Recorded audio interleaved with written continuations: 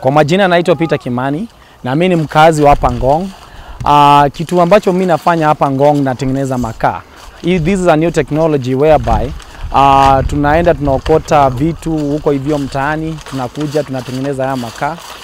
So kitu ambacho kilinifanya niingia kwa hii biashara kwa sababu nilisikia kuna ile wanasema zin makaa itakikani kwa sababu inaharibu environment.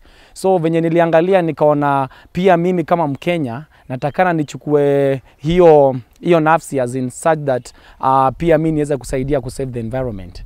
So hapa tunatengeneza makaratasi ile ya kaki bags ambayo tunaenda tunaokota makaratasi hizi za unga ambazo watu wanatupa after kuchukua unga. So tunatengeneza hizo kaki bags ndio tunapaka haya makaa yetu. Kwa masomo nimesoma up to uh, to college level ambacho nilisomea to guiding and administration katika Wildlife Clubs of Kenya. Alafu niliposoma nilipata pia ile challenge start that hakukuwa na ile employment, so nikakuwa na mashida kabisa, nitafanya nini kwa maisha yangu?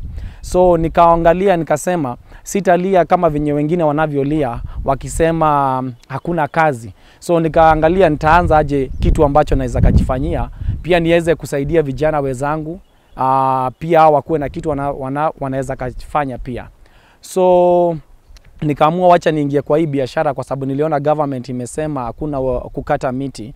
Nikasema sasa wacha niingie pia mimi wapi niweze kuingia katika kusave environment. So nikaingia kwa hii biashara na imekuwa pia ikitusaidia kwa saa hii tuko watu watano kwa katika hii biashara, such that mimi ndio biashara ni yangu, lakini nimeweza kuandika vijana wengine katika hii biashara. So nataka Mungu atusaidie tuweze kufanya pia bidii uh, miaka ingine inayokuja tuweze kuwa pia vijana wengi uh, kwa bunajua tukiwa wengi pia itatusaidia kufanya nini? Uh, kueliminate ile poverty na pia wizi katika hii nchi ya Kenya. So nikiangalia naona uh, in the next two to three years tutakuwa pia tumeweza kusonga mbali na pia tumeweza kusave hii nchi yetu ya Kenya. So vitu ambazo tunatumia pia kutengeneza hizi makaa, kuna zile kama coffee husk, kuna sodas, kuna molasses. Uh, sometimes kama hakuna hizo vitu tunatumia pia charcoal dust. So hizo ni baadhi ya vitu ambazo tunatumia. Alafu kuna ile mixing ambayo tunafanya fermentation, tunafanya carbonization process, alafu tunaweka kwa machine. So hizo ni baadhi ya vitu ambazo tunaweza kutumia katika uh, kutengeneza hii makaa. So kwa fermentation process kuna ile tunaweka kama kwa siku tano kwa siku saba hivi ndio iweze pia kuferment uh, iweze kureduce the amount of uh, ile smoke, kwa sababu tunataka tu, kama tunauzia wa customer makaa yetu isiweze kutoa moshi kwa nyumba yao, ikuwe ni makaa ambayo ni safi sana. So before nikianza ilikuwa it's just like uh, two- 20k only, so ndio niliweza kuweka kwa biashara na ni ile ya kuombelea pia, naambia rafiki yangu nisaidie, nisaidie na hii alafu, so hiyo ni capital ambayo nilianza kuanza nayo na nilirealize uh, such that uh, ukianza biashara shida ikuangi ati ni capital, it is the idea that you have na pia ile passion ambayo utaweka pia kwa hiyo biashara yako. Wakati wa kwanza ilikuwa pia na ile ugumu kabisa ku market hii product, kwa sababu ukipelekea watu wanasema unaniletea, watu wengi wanasema ni matope. Siku za kwanza walikuwa wanasema ni matope, hii itawaka kweli? So wakuwa na ile kusema as in it, it is going to work. So walikuwa wanasema ah, hii hapana, lakini pia nilichukulia hiyo challenge in a positive way such that nikienda pale kwa street naenda na jiko yangu na washa so nikiwasha watu wanasema haya, hii kitu inafanya kweli kazi. Unaona sasa, so kuanzia wenye walinunua ile kidogo kidogo, kwa tunapima na kg, so wakibeba kg moja leo wanachukua namba zetu,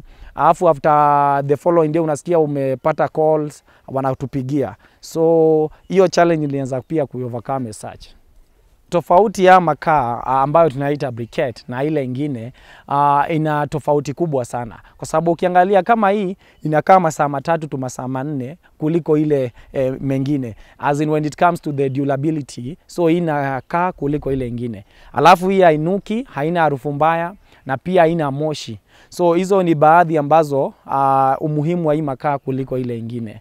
So kuna kuanga na hiyo process ambayo ni ya kutengeneza makaa. Kwa sababu nimesema baadhi ya vitu ambazo zinatumika Uh, kwa sababu lama upeleke kama ni soda upeleke kwa fermentation. Kuna hizo madrums ambazo lazima uiweke na uweke na maji for 5 to 7 days, bia ikuwe imeferment already. Alafu kuna kuanga na hizo kama sodas ambao unaweza kapeleka kwa carbonization process, unaweka kwa drum unachoma. So hiyo ni baadhi. Alafu sasa hiyo material yote ikiwa already uh, kuna kuanga na ile chamba apa, ambapo unaenda una mix kama ni kama tu mjengo venye wanaendanga wanaanza kumix hizo vitu pamoja. So mnaenda mnaweza kumix uh, mkiweka maji, unaweka maji na molasses pamoja, mna mix ambavyo nitaweza kuwaonesha pia pale, alafu mnaweka kwa machine. So makaa ndio inatoka na hii shape.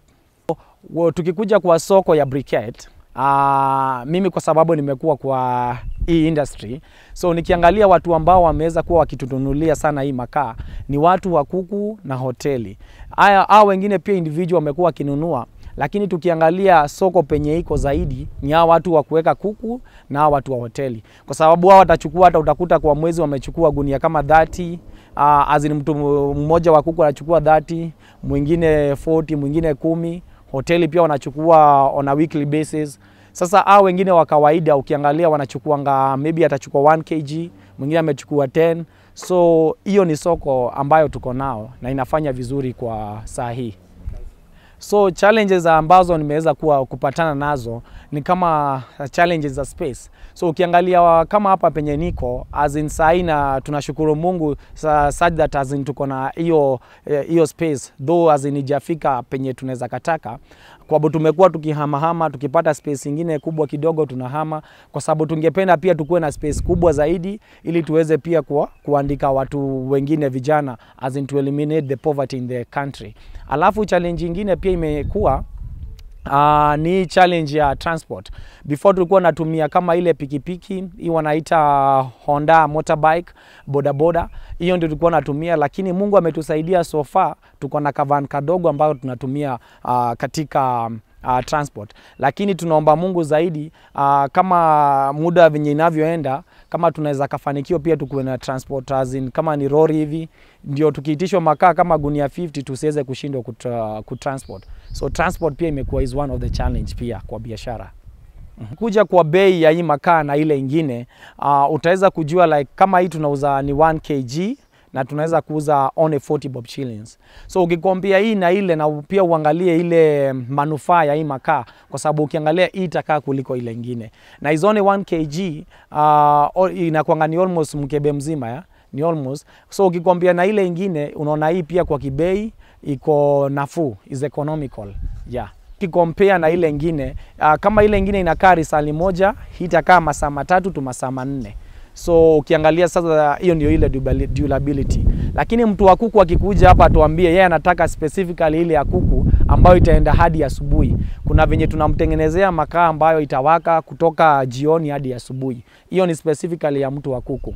Kuna mwingine atatuambia pia nataka ile ya kutengeneza kitu kama chapati ambayo pia ina, inawaka haraka. Pia tutaweza kumtengenezea hiyo ambayo inawaka haraka. So si huwa tunaenda kenye customer yetu anataka ndio tunampatia, mara si ile kenye tunataka kupatia customer, ni kenye customer anataka tumpatie. Yeah. So uh, mtu wa kuku ata, atataka kutumia hii makaa yetu zaidi, kwa sababu akiangalia hata akiweka kwa vifaranga zake haitatoa moshi. Hiyo ni kitu ya kwanza, so haita affect ile the surrounding ile ya kuku, so haita affect. Alafu kitu ingine akiweka hii makaa yetu jioni, tuseme ameweka saa moja, atakuta hadi asubuhi ndio makaa ina, inavyoisha, so hata ataenda kuiweka tena kama venye anavyoweka ile makaa ingine ya kawaida. So kwa wale vijana ambao wanasema hakuna kazi katika hii nchi, mi nitakuambia kuna kazi mingi sana. Kitu ambacho azina kama vijana tunakuwa nayo ni ile uoga, alafu pia tupendi kurisk, alafu usiangalie pia ati lazima ukuwe na capital ndio uweze kufanya biashara. So kitu ambacho unatakana ukuwe kwanza ni, ni idea Alafu unaona ukienda online, kama mimi ndio niweze kufanya hii biashara, nimeweza kuisomea online. Nikiona kama kuna shida katika nchi, naona gap ambayo imewekwa. So nikiona kama kuna shida ya makaa, natafuta venye naweza kafanya, naenda online nasoma, alafu nafanya hivyo. So hakuna shida ya kazi. Shida ya kazi ni sisi tuseme, si vijana hatutaki kufanya kitu. So uh, as in, watu waende online wasome, as in, mtu asikuwe ni ule mtu wa kulose hope haraka, unaona yeah. So kwa familia yangu nikiangalia hii kazi uh, mi nitasema imetusaidia sana kwa sababu nikiangalia uh, sisi tunakula hii kazi, tunaishi hii kazi uh, wenye nimeandika pia wanakula hii kazi na wanaishi hii kazi. So ukiangalia ni kazi as in, before nikianza watu walikuwa wananiambia wewe umesoma hadi up to the up to college level, mbona unakubali kushika hii uchafu? Kwa bwana nikuta hata kwa tukianzia nilikuwa nabebana na gunia, wananipata huko kwa market wenye tumesoma nao, lakini hii biashara azini mimi nikiangalia utamu wake nitasema azin, imenitoa hapa ikanipeleka pahali pengine, so ni biashara mzuri sana.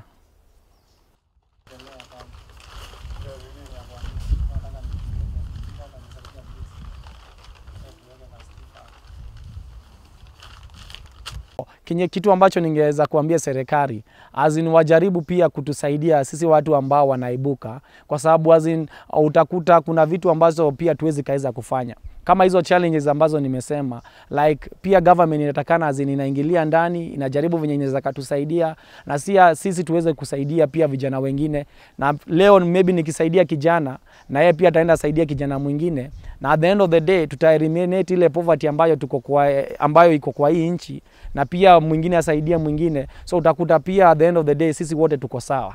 So ningeweza kuambia government as in, waweze kuingilia kwa watu ambao vijana kama sisi ambao tunajaribu tuingie kwa mambo ya ukora as in, waweze kutusaidia kama maybe ni mtu anahitaji kapito kidogo, waweze kutusaidia kutubst na pia at the end of the day tutakuwa tumesaidia country yeah.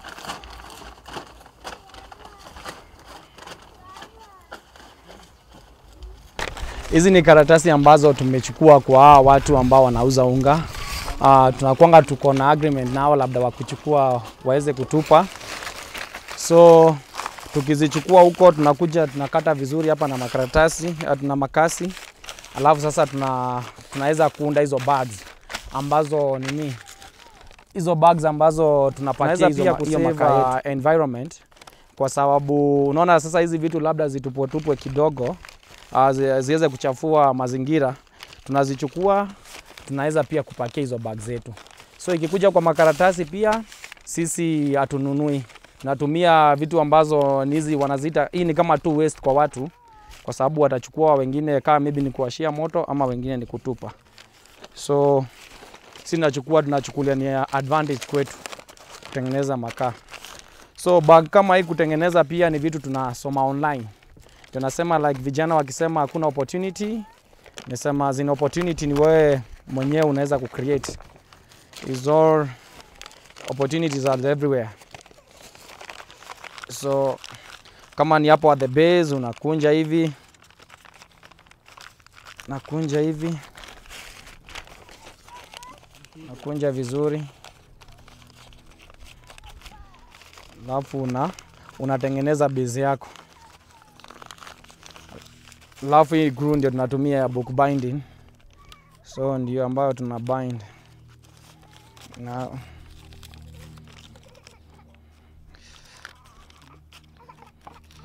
so alafu na naweka bag yako na gru yako. Ndio ikuwe pia na shape ya side za kaeka hizi side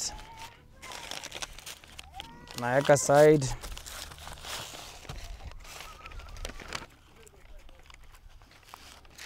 so nilepatie hiyo. Bagi yetu inakuwa iko ready. Nipatia tu daka kiasi kwenye umeweka glue, itakuwa ready tu sahi so inakuwa search. Alafu hapa mwenzangu ataweka sticker. Ambayo yetu tunaziita safi chako briquette, so tunaweka hapa naweka stika hapa.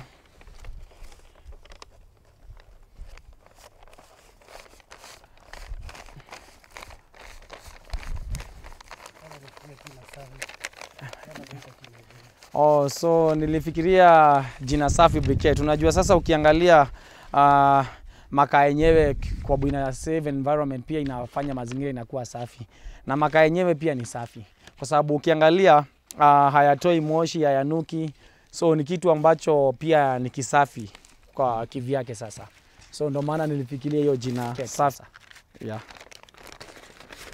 So makaratasi yetu ukiangalia ndio haya, so haya ndio tumeshatengeneza saa hii, alafu sasa tunakuwa tutapimia watu na kilo. Tena, tuweke maybe kilo moja, kilo mbili, kilo tatu kulingana na venye customer anataka. Alafu akiona makaa yetu ni mazuri, kuna hiyo tu nini yetu hapo ya Safi Briquette, alafu anaweza kutupigia. Oh, so ukiangalia hapa hivi kuna namba yetu ambayo ni 0705 374 676 0705 374 676. So ukipiga hiyo namba utaweza kutupata, na pia kwa Facebook, Facebook page ni Safi Chako Briquette. Ukienda pia pale unaweza katupata, ututumie uh, nini uh, ututumie pia message, tutaweza pia ku, kuanswer on that yeah. Yeah? Yeah, na pia kama ni delivery unataka pia kuna venye nafanyanga deliveries ha? So sisi mostly tuko Ngong. So around Ngong tunafanya free deliveries. Lakini kama ni huko mbalimbali tunafanya uh, uh, nini tuna agree na customer tunafanyia a certain fee. Just a small fee tunaweza kukuletea makaa hadi kwako wewe mwenyewe. So after five years uh, penye naangalia naona azini mtakuwa nimeenda mbali sana, kwa sababu sahii ni mwaka mmoja na nikiangalia I had nothing but God I can say ameweza pia kunisaidia na na move. So naona after five years naweza at least nimekuwa nimeandika watu wengi sana, na hiyo ndio furaha yangu. So isikuwe tu ni mimi, lakini kusaidia pia vijana wenzangu pia.